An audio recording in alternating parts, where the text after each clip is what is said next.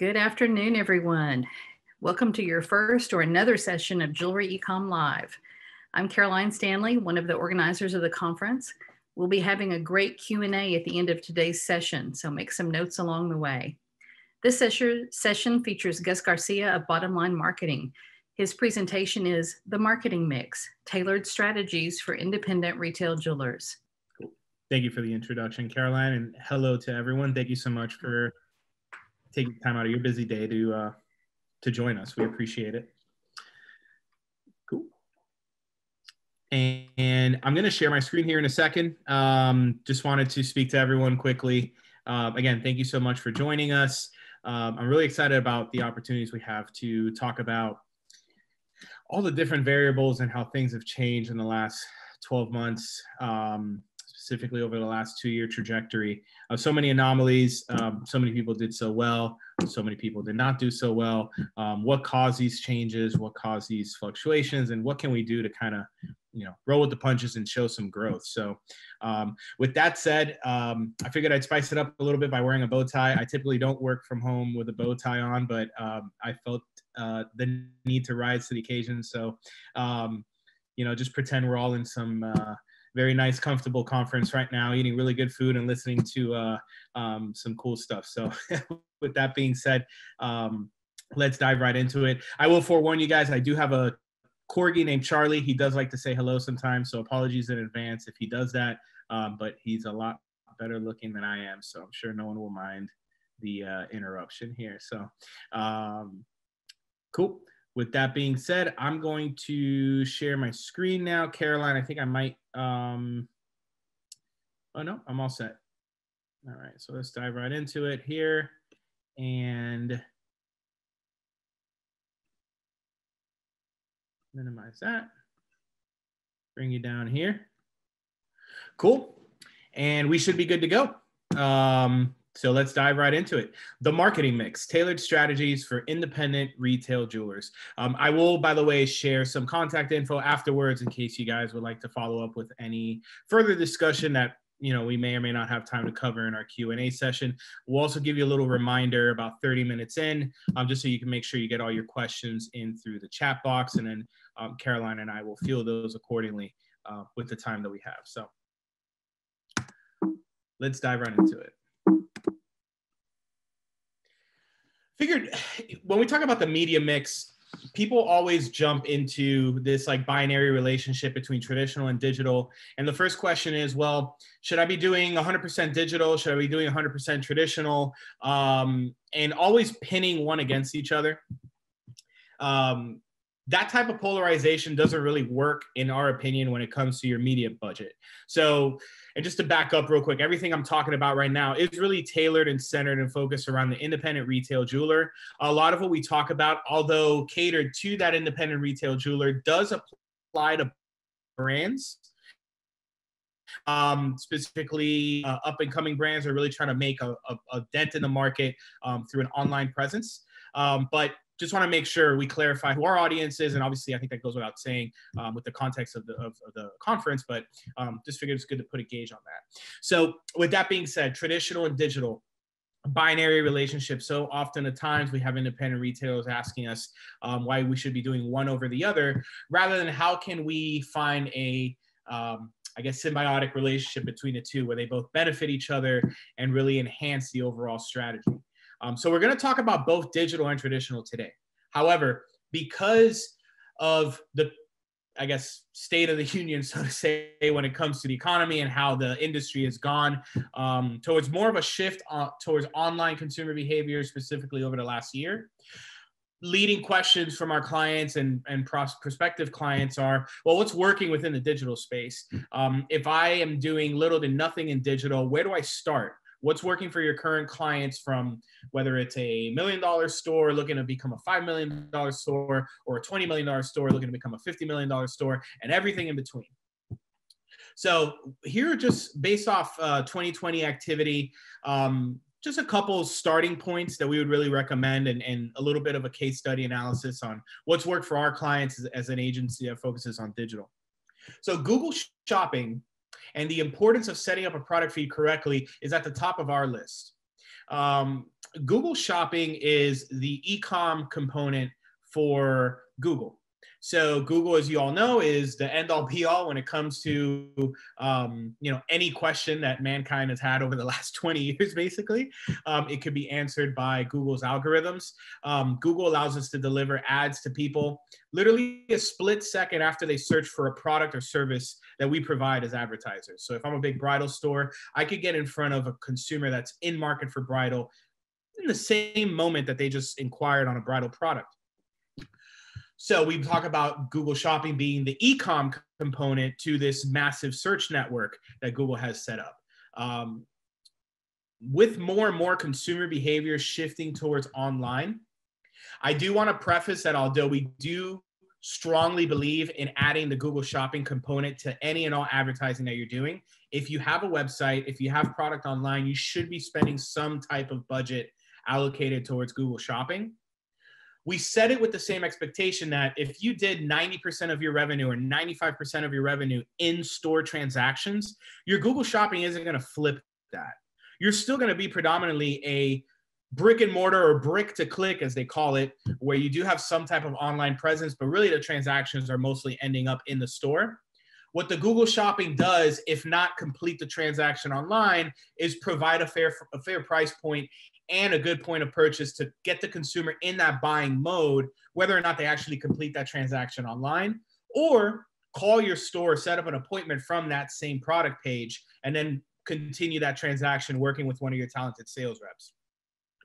What we've seen with Google Shopping as an ideal price point for online products is between $1,500 to $2,000.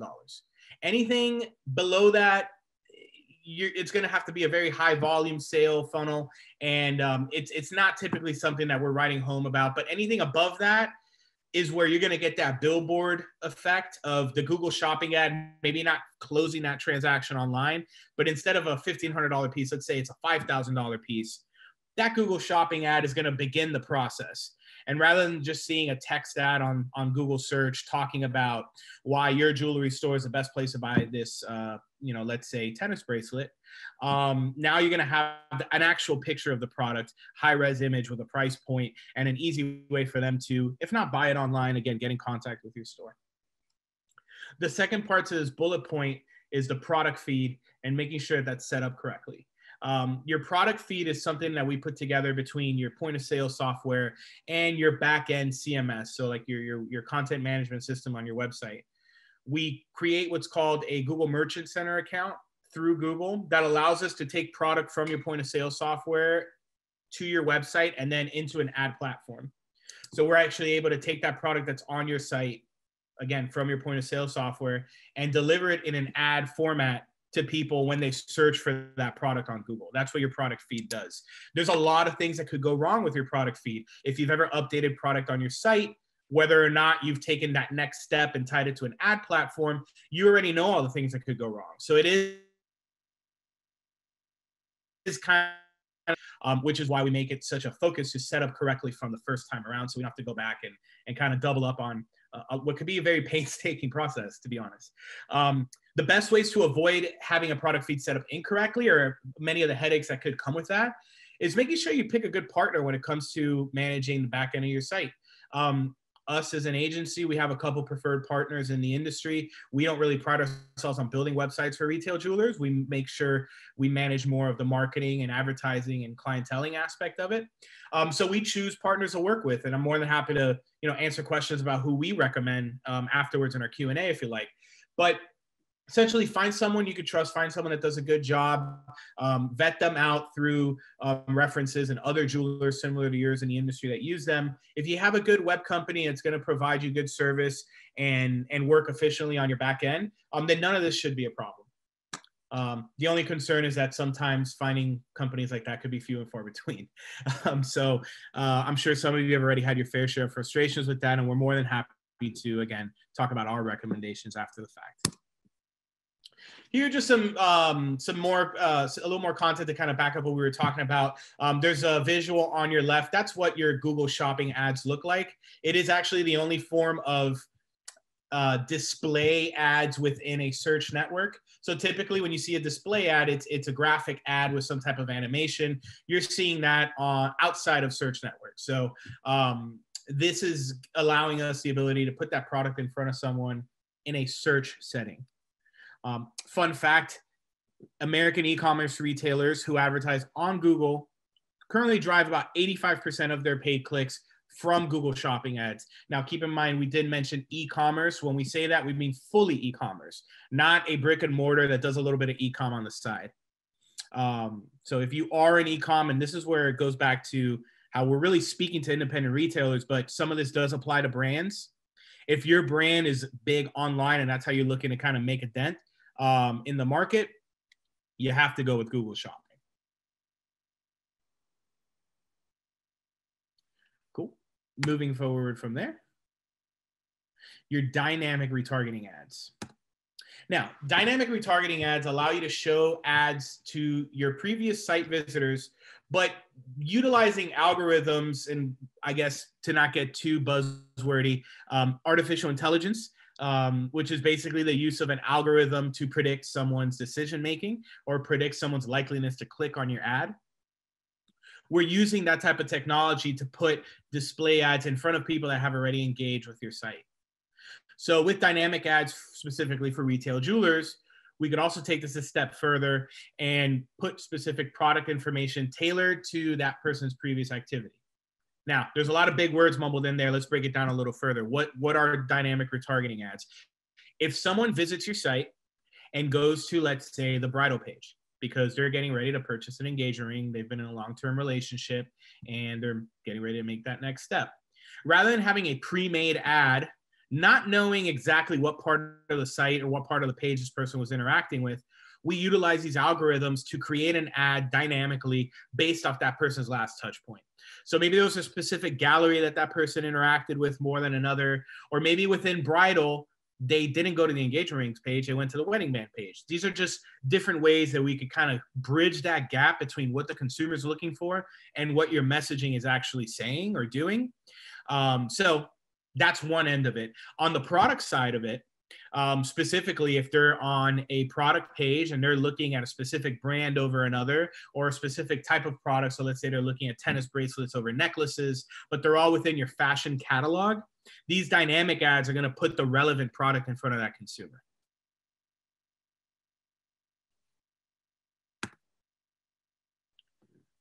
I do tend to get a little passionate about what I'm talking about here, and that usually results in me talking a little fast. So um, feel free to, again, if I go over something a little too quickly, um, make sure you put that in the Q and A section, and uh, we'll revisit whatever we go over because I do realize I, I get a little fast on these sometimes. so with that being said, the next thing on our bullet list here is OTT and connected TV data. Now, OTT stands for over the top. The only fact I can't give you about OTT is why it stands for over the top. I have no idea why it's called over the top, but I can tell you all about it. Over the top advertising is most popularly, you know, if we were to, if I was to give you a good example, would be Hulu TV. So we're delivering a TV ad the same content that you would through, let's say, Comcast or DirecTV or any cable subscription, except rather than accessing the content through a cable subscription, they're accessing that content through an internet connection. So they have a Roku installed on their smart TV, which nowadays it's like the uh, the XM radio of the late 90s, early 2000s. You couldn't buy a car without that already coming installed in it. Nowadays, every smart TV you purchase has some type of OTT platform already installed in it, whether it's Roku or some uh, Apple TV component, whatnot. So we're targeting consumers based off the data that we're able to leverage through their Wi Fi directly to these connected TVs without the need for a cable subscription. If there weren't so many people on the call, I'd ask for a quick show of hands and see if anyone could guess what the best demographic is for this type of service. But I'll just go ahead and answer that question for you. It is the bridal demographic bridal, if you want to say millennials, anywhere between 24 to you could go as high as 54 for second time marriages or first time marriages, let's call it 36. Um, that main demographic is where you see a high influx influx of viewership on OTT.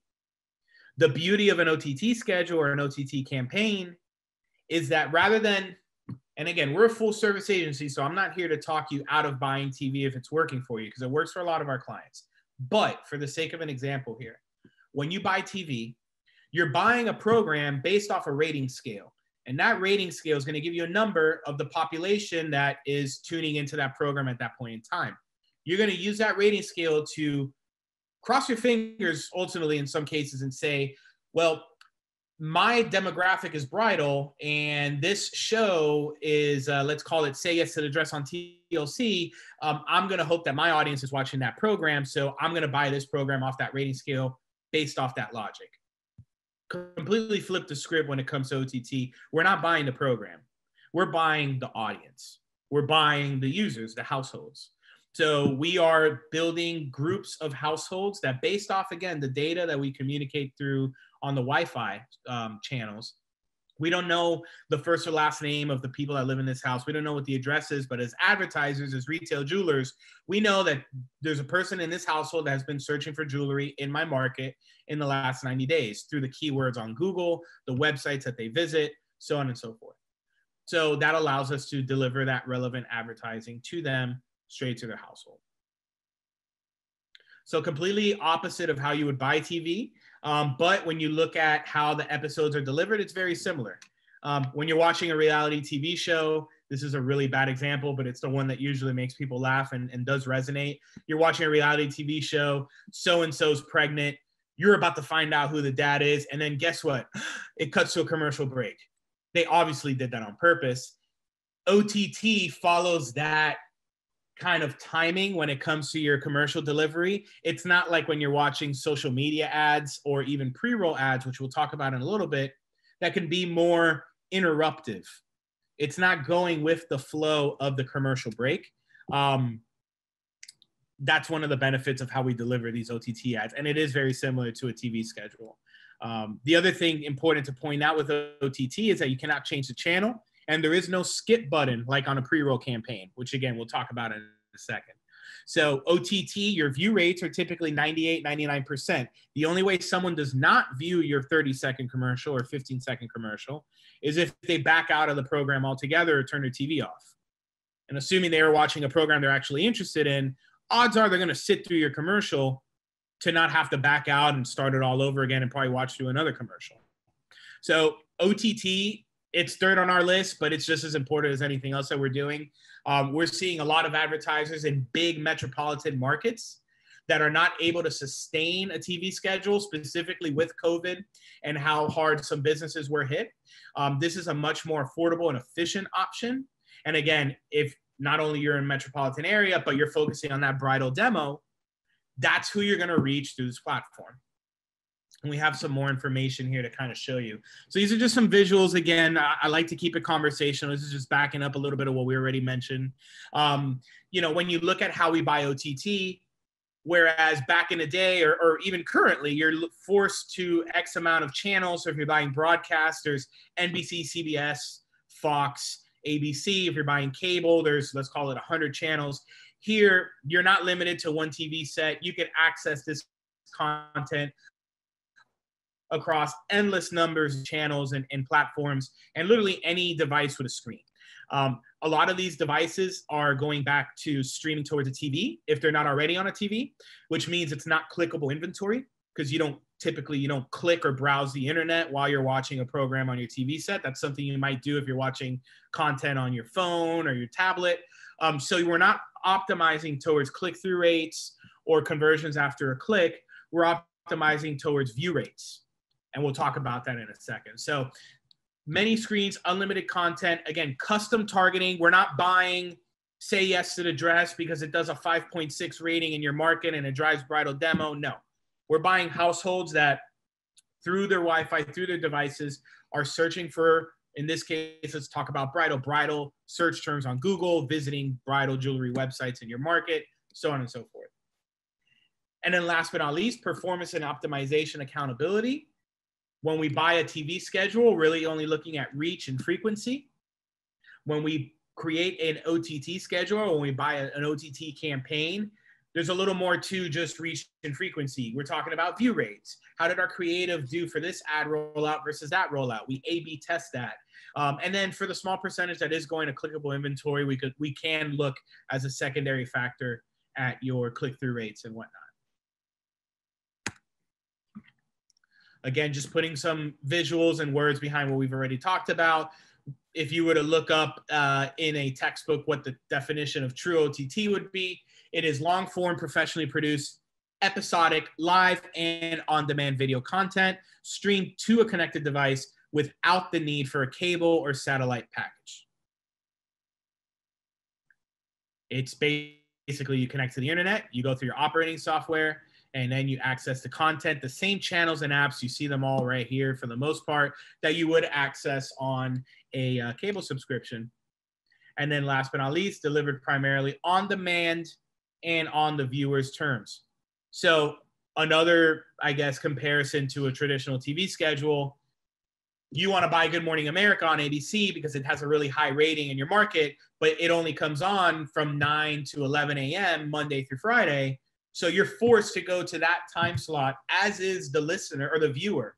So you, as the advertiser and the viewer, will have to meet at this middle ground. It's almost like an unset agreement for them to view the content that they want and for you to deliver the ad to the person that you want to.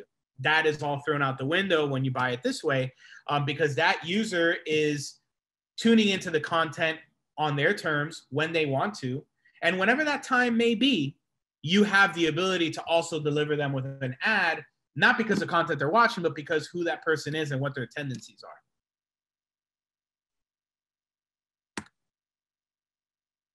Cool. So we talked about OTT and connected TV as one of the uh, factors of video advertising that really stood out for our clients in 2020.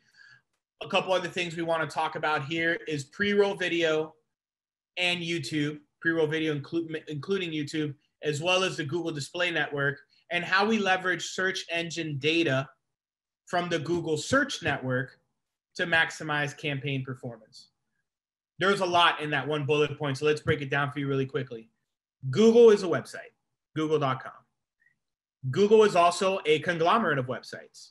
There's two massive networks that fall under Google's umbrella Google Display Network and Google Search Network. Your Google search network has everything and anything to do with searches made on Google. So for it to be considered Google search network, the first place you would go to is google.com. There's a search bar, you type something in, ads come up. That's the Google search network. Google also has hundreds of partners that have similar smaller search engines built in. Um, I know Washington Post, for example, is one of them. So there's a search bar in Washington Post to pull up um, recent articles or it ties you into a separate search network that pulls data from Google. If someone were, for whatever reason, to utilize that, that would fall under Google Search Network as well. Our campaigns rarely ever do any of that stuff with Google Search Partners. I'm just kind of explaining how it, how the dynamics work out for you. Um, put that to the side. Google Display Network is a conglomerate of over 2 million websites that allow Google advertisers to put their ads on their actual website placements. So this is everything from ESPN.com again to WashingtonPost.com, NBC.com. Again, t- over 2 million websites that allow people on, on their placement. Um, so let's talk a little bit about that. So uh, let's go back to pre-roll video real quick. Your pre-roll video ad is a video advertisement that dynamically plays either immediately before or throughout a featured video on both mobile and desktop. Now, keep in mind, about 80% of video content viewed online is viewed through YouTube. So, typically speaking, your campaign, when you run a pre roll campaign, should be 80, 90, sometimes 100% video delivery on YouTube we're not delivering ads to people based off necessarily what they're watching on YouTube, although we can manage that. For example, let's say you're targeting, um, let's say you're targeting uh, self-purchasing moms with a high household income. Sometimes their kid is using their iPad and they're watching, you know, some type of Disney Channel or whatever child's con- uh, children's content, you don't necessarily want your ad playing during that time frame. Some people do because the parents usually behind watching too, but that's just an option. You can limit the categories of videos in which your ads come up on. But in theory, we're not targeting those categories. We're targeting the people based off what they search for. YouTube is owned by Google. So we're actually able to look at what people search for on Google and then target that same person on YouTube, not based off what they're watching, but based off what they search for. So it's important to make that distinction. Um, going back to how the ads are delivered, again, we talked about the ad playing either immediately before or throughout a featured video on YouTube. Um, that breaks it into two categories your bumper ads and your in stream ads. Your bumper ads are the non skippable five to six second commercials that are going to always run before your content. In stream ads are skippable. Usually, after five seconds, there's a skip button that comes up. Um, typically, 12 seconds or longer is the best practice, 10 seconds or longer um, for those commercials. And those are going to run in between content. Pre-roll advertising is extremely practical in the sense that running an ad before the user's desired content means that audience is likely still engaged, interested, and willing to sit through a brief six-second ad to get the content they want to see.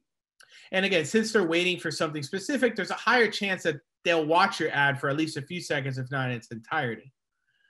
We talked about 98, 99% being very common view rates for OTT.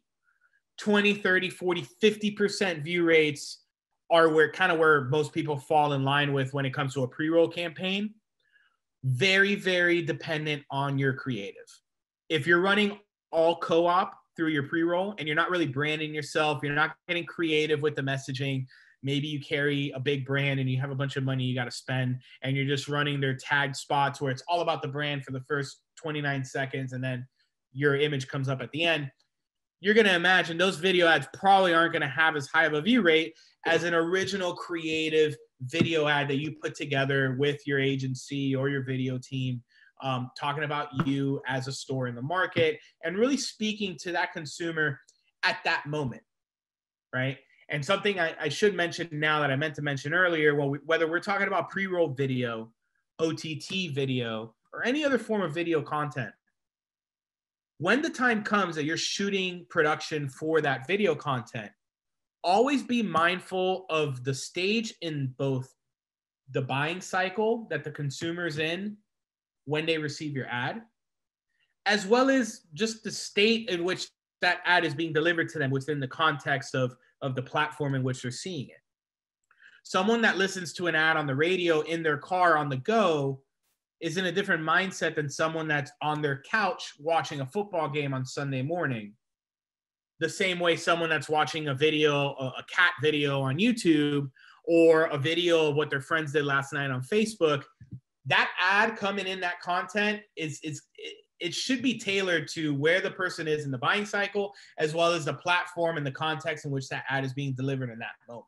So two things to always remember whenever the time comes for you to kind of prepare for video production and, and really focus on getting video content to represent yourselves as a brand in the market last but not least, we talked about the types of video ads and, and the stages in which the consumers are in. Um, the data behind these pre-roll campaigns is what really interests us as an agency and our clients as advertisers that want to be as efficient as possible with their marketing budget. Again, Google bought out YouTube and has a network of over 2 million websites that run video. Um, so, as advertisers, we're able to leverage all that data from your Google search campaigns and funnel them into your video campaigns. We could look at people that have engaged previously with your ads, as well as people that Google kind of cups into different categories based off the behavioral tendencies that they've shown while using Google's platforms or any number of their thousands of partners on the internet. I mentioned all those specifics so you can imagine Google has very granular data. Google is a search network but more than anything, they are a data company. Same as Facebook and Instagram, they are social media networks. More than anything, they are data companies. And although sometimes as consumers, it can get a little scary when you start to think about that. Um, when you really put into the context of what we're doing here, all we're doing is taking an advertiser who, in good faith, is trying to sell a good product to people who are genuinely interested in them. And we're making sure that the right people see the right product at the right time. So when you think of that with your advertiser hat on, um, I think this is actually a really, really good thing. And there's a very um, progressive and efficient way to carry your ad dollars rather than how things were done decades ago, where it was a little more of a how do you say throwing darts on the wall and crossing your fingers that things would work um, with very little to no data behind that decision making. So, with all that being said, here are some examples of the data audiences that Google allows us to target, in addition to people that have already engaged with our own search campaigns. So, there's a ton of in market audiences, meaning people that are showing they're in market for these categories based off what they've searched for and the inquiries that they've taken in the last 30, 60, 90 days. Jewelry and watches, fine jewelry, women's apparel, necklaces, bridal wear watches, formal wear engagement rings, so on and so forth. Those are just a few examples. You could also target users based off demographics and affinity audiences. So luxury shoppers, consumers that are in a relationship, have been in a relationship for X amount of time, consumers that are married or recently married, so on and so forth. So just important to kind of point that out and and know all the awesome data that that that's at hand. Just another thing to point out when you do see your results from your Google from sorry from your pre-roll campaigns, keep in mind if you're running a 15 second commercial and someone hits the skip button at 14 seconds, Google does not classify that as a view. And you only pay per view the same way you would only pay per click on a search campaign. So when you look at your view rate, there's a lot more weight to the percentage of people that are categorized as a view because those are people that, despite you maybe running a 30 second ad, and for 25 of those 30 seconds, they had a skip button in their face. They chose not to hit that skip button, minimize it, and watch your content through its entirety.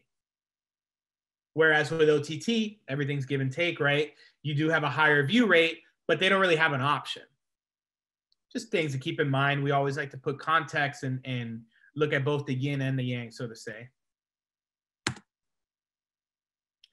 So that covers our section about what's working. Now, I realize that section probably takes usually a little longer portion of the uh, presentation um, because that's usually what people are interested in the most rather than definitions and just overall what's this, what's that. Um, people want to get straight into what's working. So I did dedicate a little more time to that. Um, I'm going to go over some of the, um, you know, overall services that we look at in a media mix and just high level definitions. Um, but being mindful of time here, it is 3:34 Eastern time. I'll send out another reminder. Just please put in your questions if you have any at all, so we could address those accordingly. I'm gonna just not breeze, but kind of high level it the remainder of this presentation. Um, and then we could get more into details on any of this if, if you like afterwards.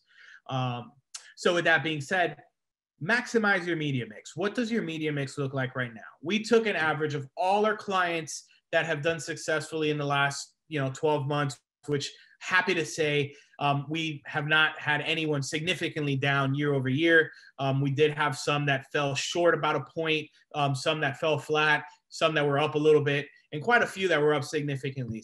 So when we look at all those jewelers and what they did with their marketing in 2020 and moving into 2021 as well, rolling with the punches and adjusting to things that are already behind us and things that we can kind of forecast ahead of us, this is what that media mix looked like. Um, so feel free to write this down, take a screenshot or whatnot, because I think this is valuable information to anyone that's kind of staring at an Excel spreadsheet and thinking, well, crap, I don't know where to allocate these dollars. I don't know where to go. I don't know where to start.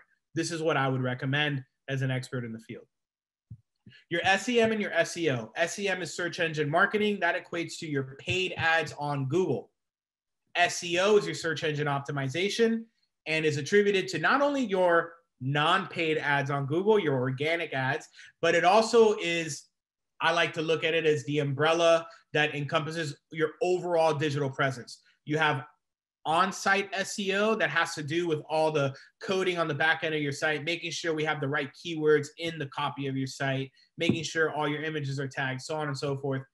Tons of technical jargon there, but just keep in mind there's on-site SEO as well as off-site SEO.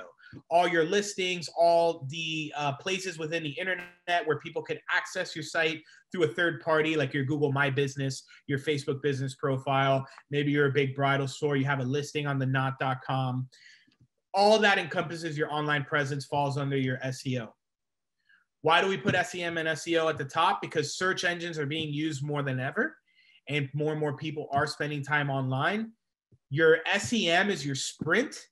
With a good paid search campaign, you could rank number one on the most competitive fields in your market literally overnight. Your SEO is the marathon, it's building the grassroots foundation. So at one point in time, you no longer have to pay for these keywords because over the course of 12 months, you've been you've been optimizing towards ranking organically little by little. It does take a lot more time. It's very much so like getting into the gym for the first time. You might check for abs every two weeks, but you and I both know it's going to take a little longer than that. Your SEO is a little longer process. That's your marathon. SEM is your sprint. But when you combine those together, again, not either or, more so yin and yang, they do complement each other and everything else you do, not just digitally, but traditionally. Um, so, very, very important. Your mobile display. More and more people are on their mobile devices um, as they browse through the internet. Um, there's very cool things that we could do when targeting people exclusively on mobile devices, um, specifically with the location data that these mobile devices communicate with us. Um, I most people don't go shopping with their laptops, so if I'm targeting people on their non-mobile devices, I don't have as much access to seeing where they've physically been as advertisers, so we could target them with mobile devices, most apps don't function without some type of location settings refreshing in the background. So again, I don't know what this person's first and last name is.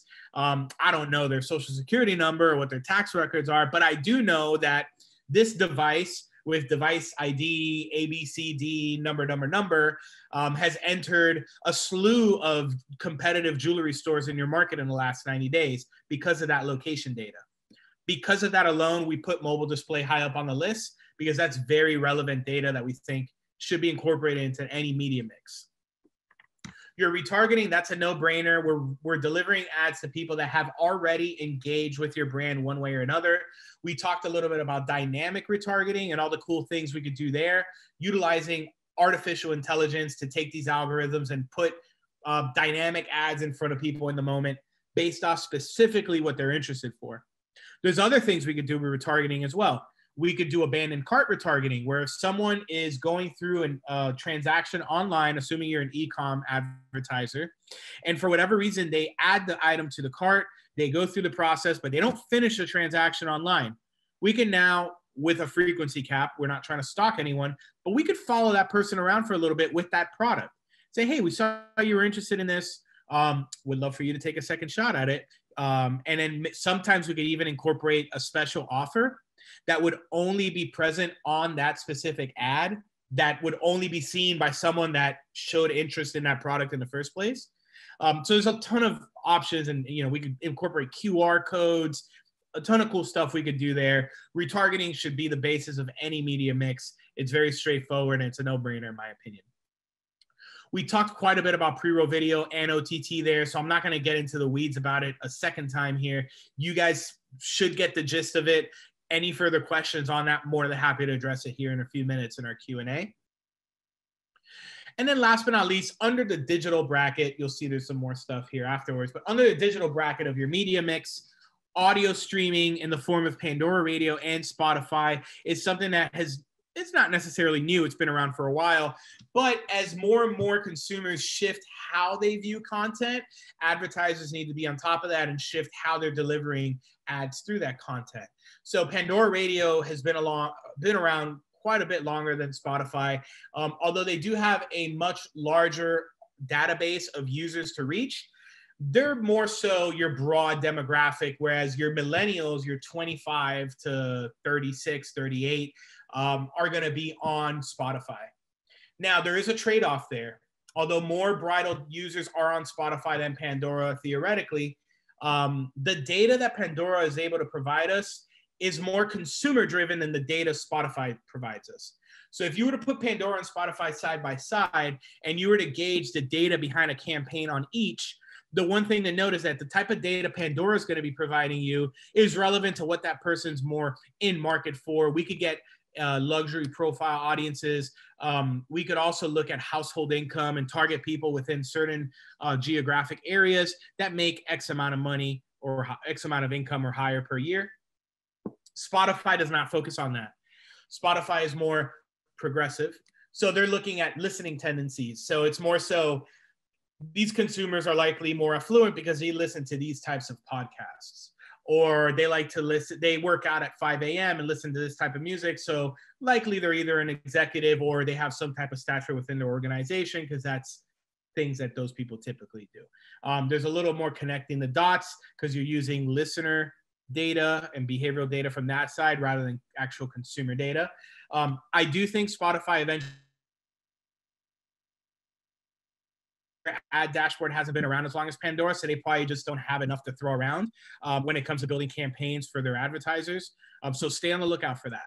But both Pandora Radio and Spotify, very important, should be a part of your media mix at some capacity. Social media. So social media, obviously, as we mentioned with Google, they're a search network. However, they are the largest data company in the world, if not one of them. Same thing with Facebook and Instagram. One of the things we did want to just briefly touch on with Facebook and Instagram is the use of user generated content and targeted audiences whenever building your campaigns out. Um, you have the ability to target very, very granularly on Facebook and Instagram with all the information that people put on there for better or for worse it's like people's diaries nowadays. I mean, you could really, without ever having met someone, I mean, you, you could know every single person, every single thing about that person if they chose to disclose it, which many people do. Um, as advertisers, uh, we could use that to then, again, we're not being facetious or malicious with what we're doing here. We're, if they're in market for jewelry and we have jewelry to sell, well, let's get in front of these people, right? That's all we're doing. Um, social media is able to really provide that down to a granular level and put it in front of people um, that are further down the funnel than not. Um, although they may not have specifically just searched for an engagement ring, um, there's a lot of really good targeting tendencies as far as relationship status and, and whatnot that you're able to focus on there. And then last but not least, traditional TV and radio, print and billboard. Those are the four things that when you talk about our really large advertisers, I'm talking about retail jewelers that do, let's say, at a very minimum, 10 to 12 million dollars in revenue and up are doing everything on this page. Now, there are some exceptions to it. Let's say you're doing $5 million in revenue, but you're in a rural market, you're the top dog in the market, everything's super cheap when it comes to TV, radio, print, and billboard you might be able to afford doing all of this. But for the most part, um, doing everything on this page is usually going to go towards those higher volume, um, higher revenue. I'm sorry, not volume, higher revenue jewelers. Uh, but nonetheless, a combination of these, you should have some type of traditional presence if you're able to afford it in your market. If you have a 600 square foot jewelry space on, you know, Madison Ave in the Diamond District in, in Manhattan or anything of that nature, um, odds are you're not probably spending a million dollars a month on TV in the New York market, nor do you need to reach the entire New York market. But if you have 10 stores spread across the Carolinas and Virginia, and you can afford to really negotiate on your um, local media, and you could use that side by side to boost your online presence, we still see a return in, how do I say it, maybe the top 30, 40% uh, of markets rather than the top 5 10% when it comes to big metropolitan areas. Um, so we're not buying tv and radio as much in those you know top big cities but that middle ground is really where we do see it shine. And obviously if you're in a top 100 market um, everything's probably so cheap if you're doing uh, competitive revenue wise you should be able to afford something there. Um, so with the tv radio print and billboard i didn't want to make it too much of a focus because there's more and more of a shift towards digital, and that would probably take a few hours in itself. Um, but I did want to make a footnote at the end of the presentation to make sure we talked about um, how important it is and how much it does still work for a lot of our retailers, specifically in those more rural um, markets. So that summarizes our presentation. quick second, just want to say a quick thank you to Howard, Mike, Caroline, and the rest of the Jewelry and Centurion family for putting this online conference together. And again, most importantly, thank you to all the retailers who tune into this presentation. I know this is a really busy time of year because our clients are all going crazy right now, um, closing out the year, starting the year, planning everything out. So we really appreciate it and wish you nothing but the best in 2021. Thanks, everybody. Howard, appreciate that. Gus, I've taken the platform back from you again. I'll invite anybody to put in some Q&A into the chat and Gus will chat with us and let us know the answers if anybody's got anything they'd like to know. Gus, anything you want to add in the meantime while everybody gets their questions together? Cool. Um, yeah, so I had actually, uh, I, I just took the screen off here, but I had my email up at the end. Um, I just wanted to say if, if anyone um, outside of this has any further uh, feedback or questions or would like to um, discuss anything in greater detail, my email address is gus at bottomlineblack.com and I'm actually just going to type it in. I don't think we're seeing your screen anymore, but gus at bottomlineblack.com, right? Yep, yep. I was just going to send it to the chat box here. Oh, great. Okay, perfect. So I'll, I'll make sure to drop that in. Um, Yay. Well, we have a few nice messages that people found this helpful and thanking you. It looks like we're good on questions. So we'll say goodbye for today. And thank you, Gus.